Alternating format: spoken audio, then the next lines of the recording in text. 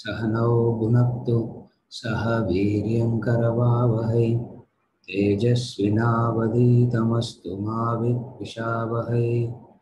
ॐ शान्ति शान्ति शान्तिः।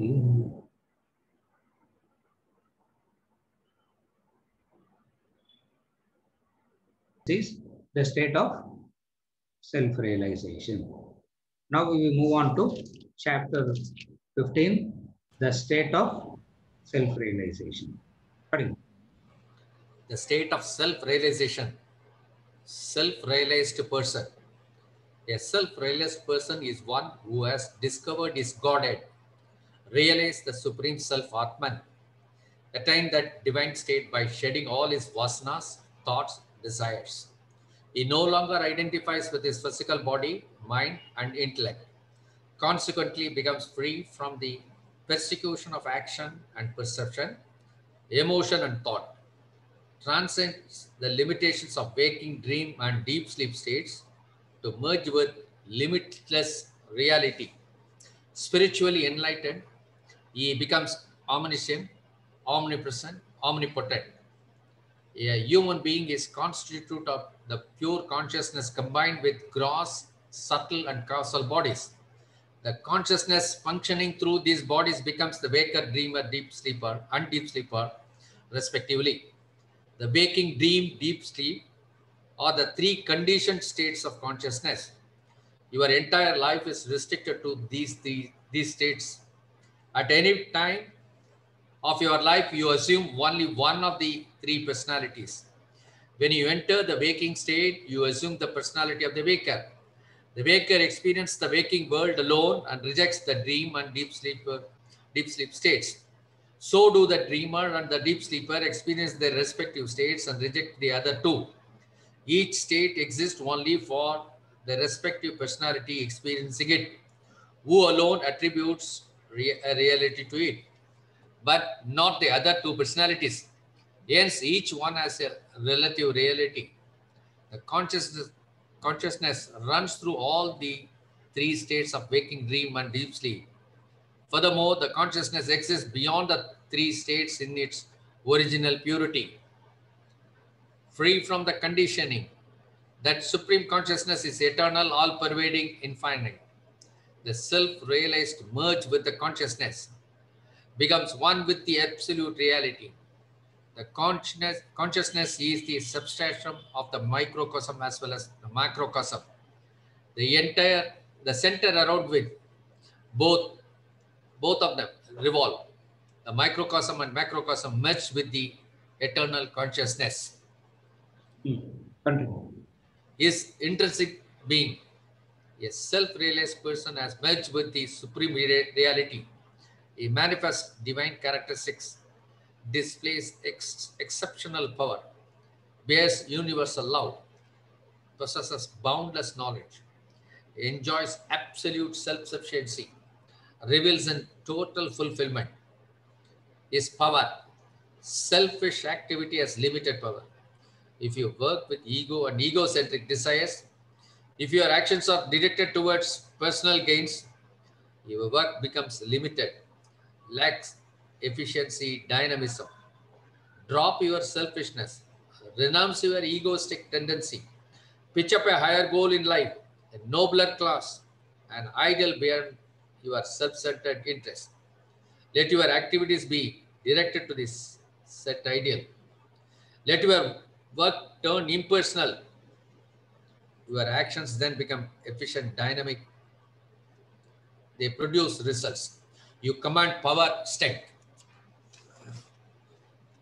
Let an employee approach his employer for a personal favor with a selfish desire to fulfill. He hesitates, falters, fumbles. He lacks strength to put forth his case. Let the same person take up a common cause to serve the interest of his fellow employees. He then approaches the boss with a higher purpose, with no personal motive in it. His impersonal attitude provides him courage and strength. His action becomes powerful, his effort fruitful. Apply this principle in life. Annihilate your ego. Get rid of your little self. You gain power and strength. your activity assumes infinite propositions that determines the power of a self-realized person. In the invocation to the Gita, a verse describes the power of a spiritual evolved. It makes a mute speak, a lame scale mountains. The Dhyana slokas of the Bhagavad Gita Rupam karoti vachalam pangum langayate giri yatkrupa tamaham vande paramananda madhav.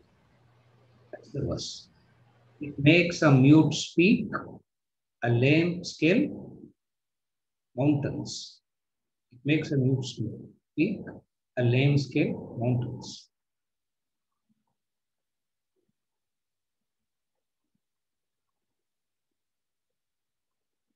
His intrinsic being, a self-realized person's intrinsic being. Intrinsic being means his inner, his inner state.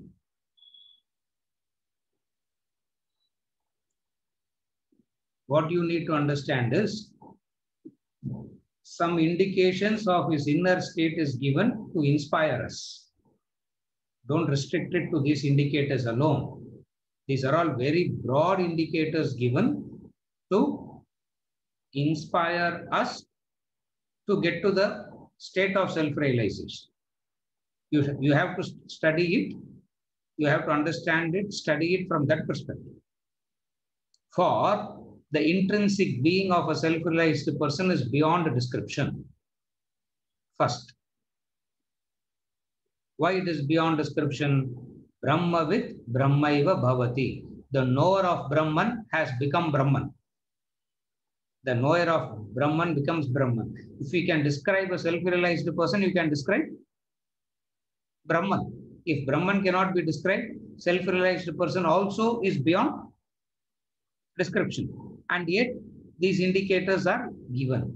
So these indicators gives you a broader, a very broad picture of his internal of his internal state. The first thing in that internal state is the power.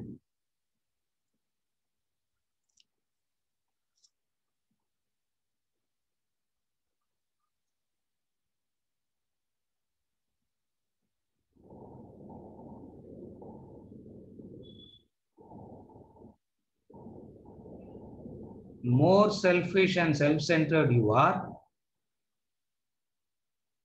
less power.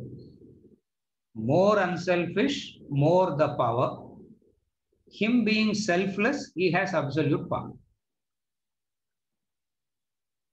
Selfishness, no power. Unselfishness, more. Selflessness, absolute. Since a self-realized person is an is absolutely selfless, his power is absolute. Since we cannot understand what is that absolute power, he gives an example of selfishness and unselfishness. The example that is given here is one of selfishness and unselfishness. What is it? Let an employee approach his employer for a personal favor with a selfish desire to fulfill he hesitates, falters, fumbles. That is selfishness. Wherever there is selfishness, there will be a hesitation. There will be faltering. There will be, there will be a fumble.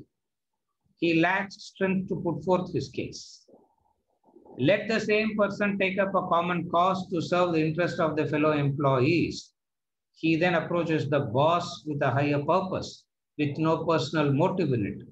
His impersonal attitude provides him courage and strength. So, unselfishness brings power. The attitude of unselfishness brings power. In that, at, with that unselfish attitude, here we are talking about selflessness. Here we are talking about absolute here we are, here he is referring to the absolute, absolute power. How to describe the absolute power? Example can talk about the selfish and unselfish. how to talk about the absolute power. That's where the Gita Dhyana Sloka comes in. Mukam karoti vachalam pangum langayate girim. Giri means mountain. It makes a mute speak, a lame scale, mountains. It makes a mute speak, it makes a lame scale, mountains. How can a mute speak? Impossible. How can a lame person scale mountains? Impossible. And yet, because of the absolute power that the state of self-realization confers, the impossible things become possible. The most impossible thing becomes possible. In that sense, absolute power. What is the most impossible thing? Renouncing the egoistic tendency. What is the most impossible thing? What is it? What is it that is difficult to let go?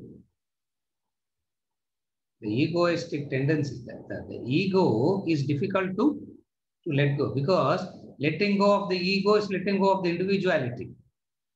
Letting go of the ego is almost like committing suicide. And it is it is difficult to let go of the ego.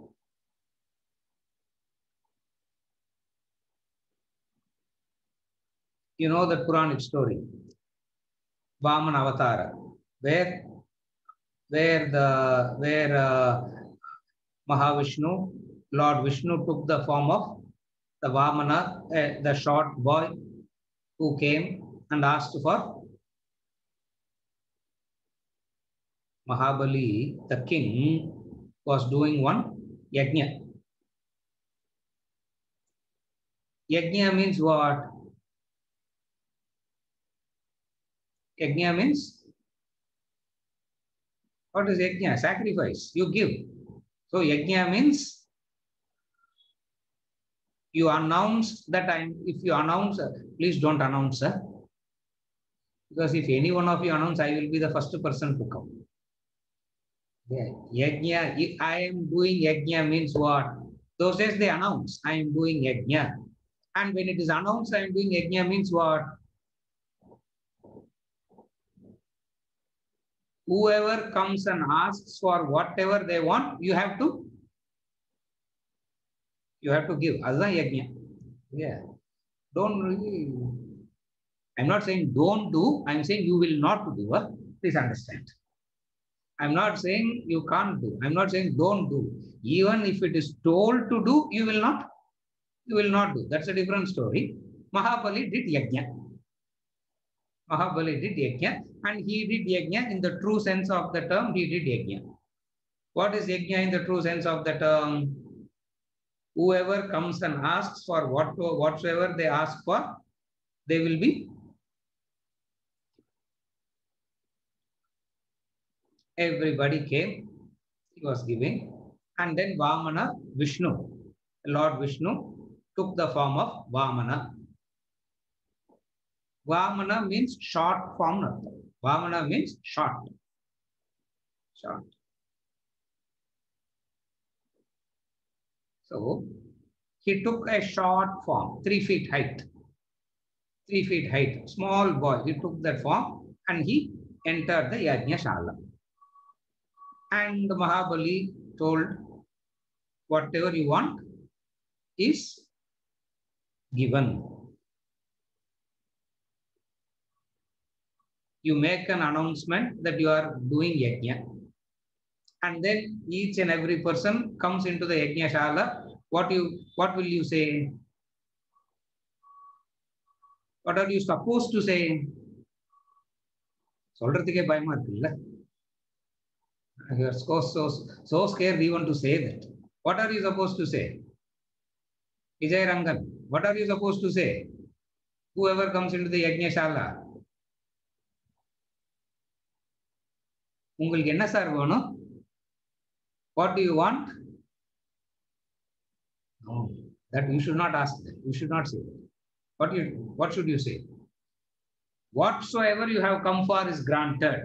Now tell me what you what you want. He may ask for your house, he may ask for your wife, he may ask for your children, he may ask for your life.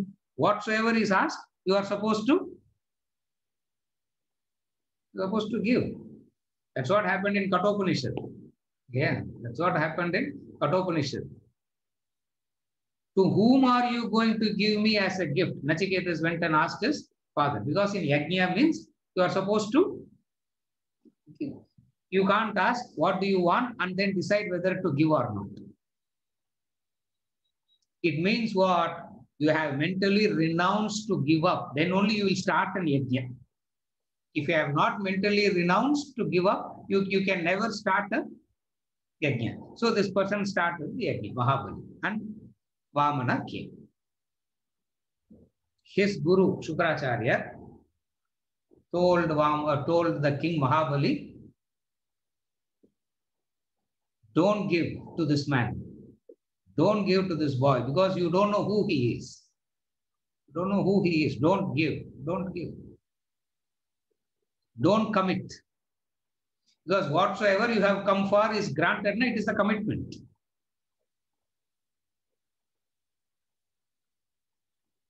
And uh, he said, don't, don't commit.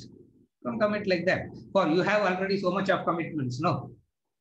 Yeah, you have already so much of commitments. Will added, I, this is uh, this yajna and this man becomes another commitment. Why? His guru said, don't take up commitment. Mahabali said, no.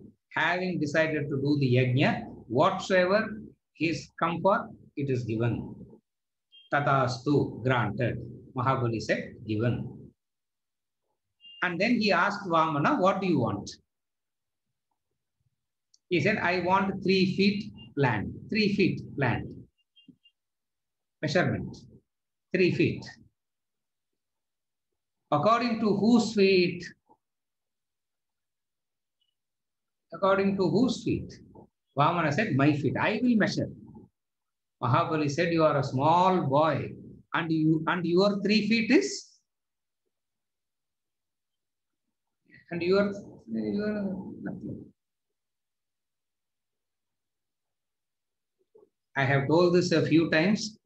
I don't know whether you have observed it or not. In the market, you will always notice the shortest hand will be measured, the flower.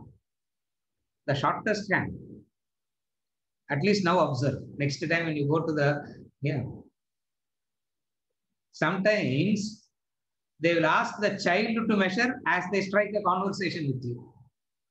Why? Because short hand, no. If you have a long hand, if a person like, uh, no, if a person of the height of um, Swamiji or six feet fellow starts measuring, what will happen? Moon Vartala, he'll become a bondi, no? He'll become bankrupt. So short. So Mahabali said, Your feet is so small. If you measure, what will you get out of the three feet? What will you get out of the three feet? So I will give you three villages. I will give you three cities. I will give you three. You want three? No, I will give you three. But I will decide what that three is. Vamana said, nothing, according to my feet. Mahabali said, granted, tatastu. And then immediately what happened? He became the, he took the Vishwarupa Darshana. He took the Vishwarupa Darshana. One feet he measured the one feet he measured the, the known. Second feet he measured the unknown. And then he's looking at Mahabali and asking, where is the third feet? You said three. ரெண்டு தான் இருக்குது இங்க where is the where is the third feet and Mahabali prostrated to him and said my head my head is the third feet why because the ego of mind is so big that it is much much bigger than the known and the unknown the ego of a human being is so big so big But bigger than the universe, bigger than the multiverse.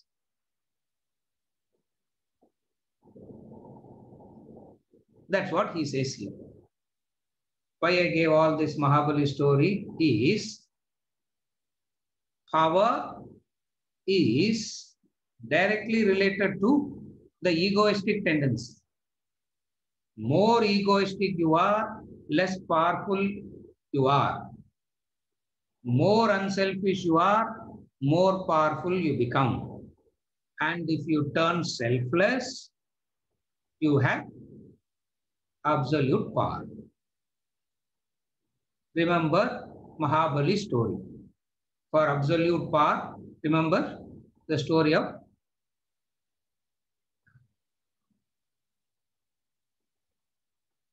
See, when he was measuring the first step itself, Mahabali and his earth is already accounted, no? How can he put his head and say, my, my, my, my head is the place for the third feet? It's not literal, it is symbolic. What is it? The, the ego. And what is ego means? What is ego?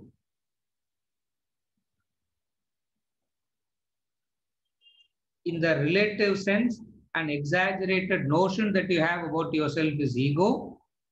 In the absolute sense, you are convinced that you are an individual is ego. Ego can be understood in two ways. At one level, ego means an exaggerated notion that you have about yourself. Superiority or inferiority.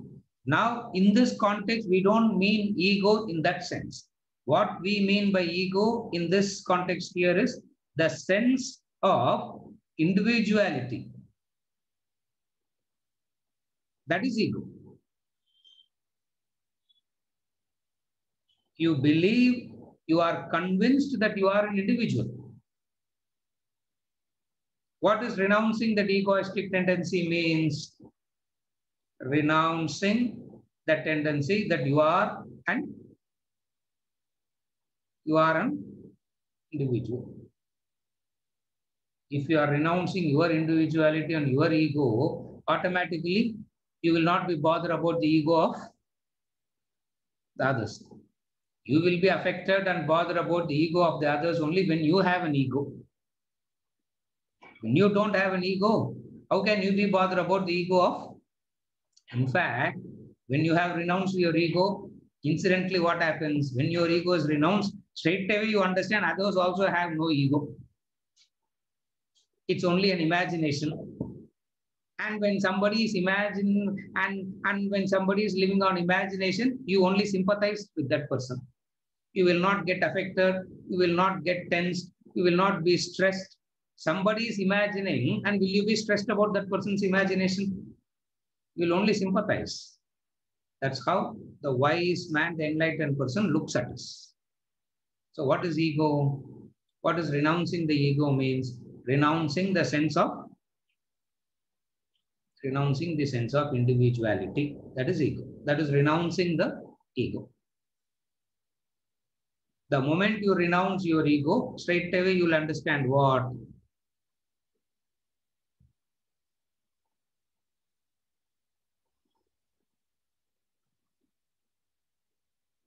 there is no ego anywhere around you also.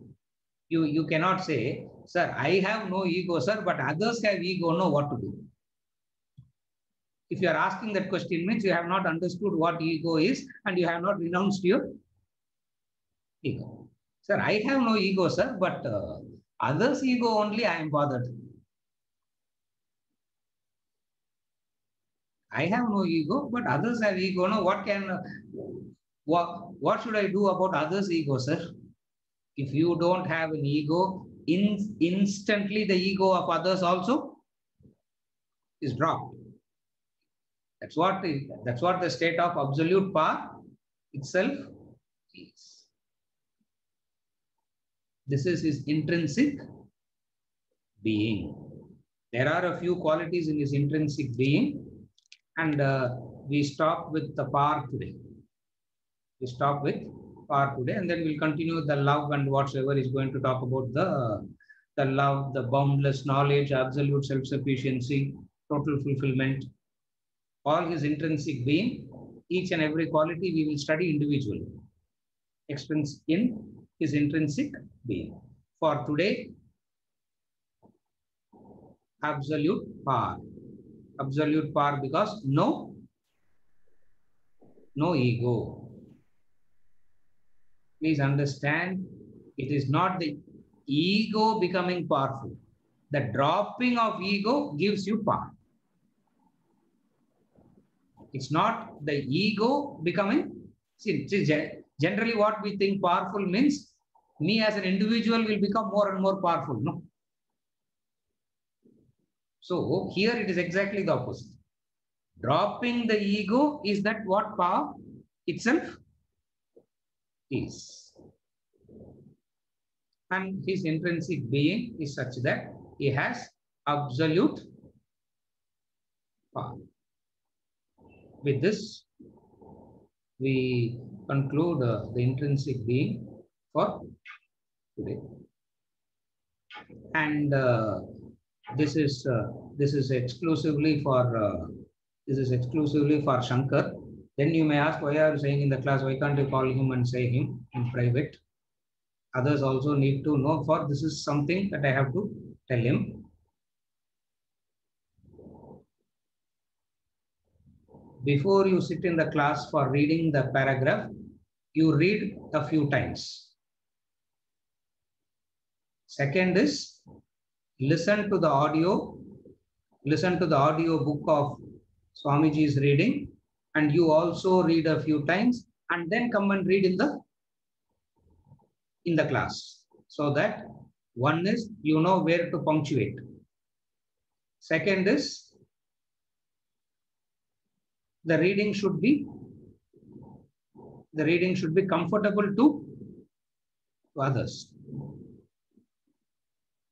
The very first day itself, I wanted to say this, but I thought someday you will, because it is very, very painful to keep telling these things. At least to me as a person, it is very, very irritating to give these kind of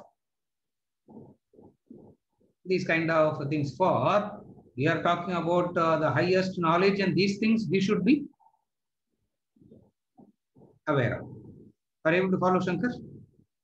And I am saying this because someday everybody must read. It's not only him. It's not only, it's not, that's why I said it, it's not only for him. Everybody, one one day, one one person must take the, the thing to, to read. This is called love. This is called love.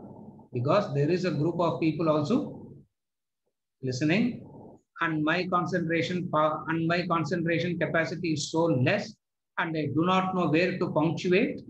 Therefore, I train myself to, so I will make an effort to train before I read the text in the, in the class. In fact, why I'm openly discussing because Shankar pleaded with me, yeah? he pleaded with me. I don't know how many times he, he asked me, sir, can I read? You are uh, you are reading and talking. You are reading and talking. You know, you you you you take a you you take a break. I don't know why he thought I'm a sick person, but he thought I'm a I'm a sick person that I won't be able to do both. Therefore, he pleaded with me saying, I will read, I will read, I will read. I said, okay, read. Now that he is reading for a few weeks, I know that he will continue to read. Now I am saying what you should do. First, you read a couple of times and then listen to the audio book and follow and then read it again. And then when you come and read in the class, what is the purpose of reading in the class? Even when others don't use the book, I tried it today. I closed the book and I was trying to follow. That's why somebody reads, no. Even if the book is not there, I should be able to, it should make, it should make sense to me in the way that he has written. if I have, if I close the book and I try to follow, it was going,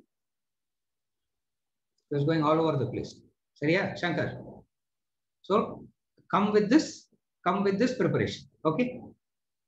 And then we'll, uh, in the next class, we'll continue with his, his law. Sorry.